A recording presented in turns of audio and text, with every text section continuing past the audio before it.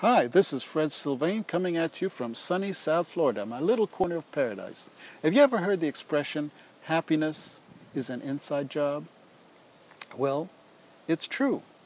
Why is that? Well, it's because it isn't what you have, or who you are, or where you are, or who you are with, or what you're doing that makes you happy or unhappy. Actually, it's what you think. Really, everybody in the world is seeking happiness. And there's only one sure way to find it.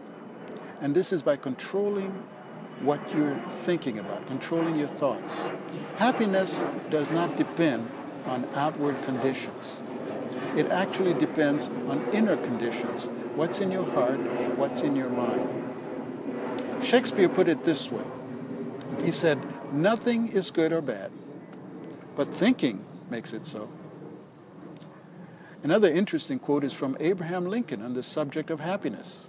He said, Most folks are about as happy as they make up their mind to be. Isn't that interesting? Well, give that some thought.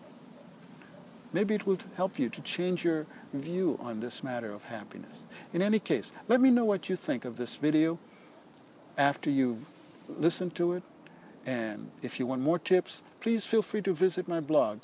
Click the link below this video. Okay? Make it a great day.